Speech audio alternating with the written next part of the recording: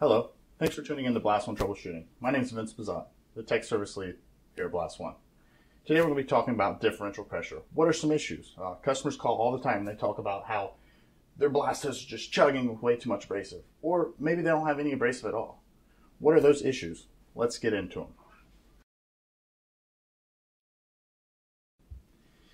To start, we're going to talk about the proper way for a blast pot to work. And in a perfect world, you have the same amount of pressure inside the vessel as you do going out of the pusher line. And abrasive feeds by gravity, like an hourglass.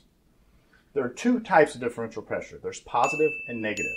And a lot of times these are the reasons for the issues that a blaster is having. So let's step up with positive differential pressure. What are some symptoms of positive differential pressure.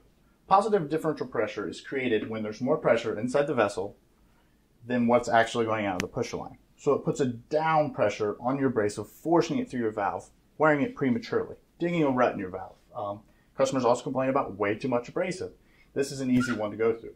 Positive differential pressure is created when there's a blockage somewhere in the piping or your choke valve handle's loose or broken. In, in the field, there's no way to tell if that handle's loose or if it's broken. So say your choke valve's kind of hit.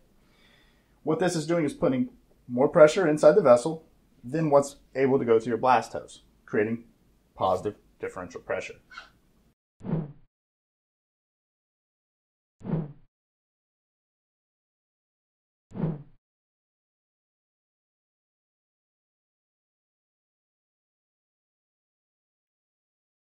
Now we're going to talk about negative differential pressure. Negative differential pressure is caused from an updraft in the valve, from maybe leaks from the blowdown hose, your pop-up, or maybe even your handling.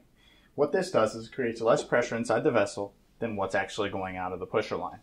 Customers call all the time. They say, hey, I have abrasive and it's sporadic. You know, it's good, and then it stops, and it's good, and then it stops. What's causing that? What's actually happening is there's less pressure inside the vessel than what's going out of the pusher line. So the updraft will lift up the abrasive and then it'll fall back down. And then it'll lift up and it'll fall back down. Because remember, abrasive's fed like an hourglass in the whole setup.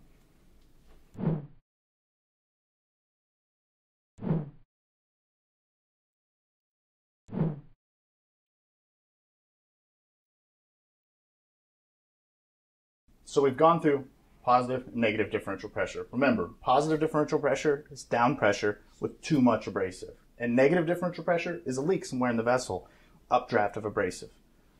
Thanks for tuning in. I hope this helps you in the field.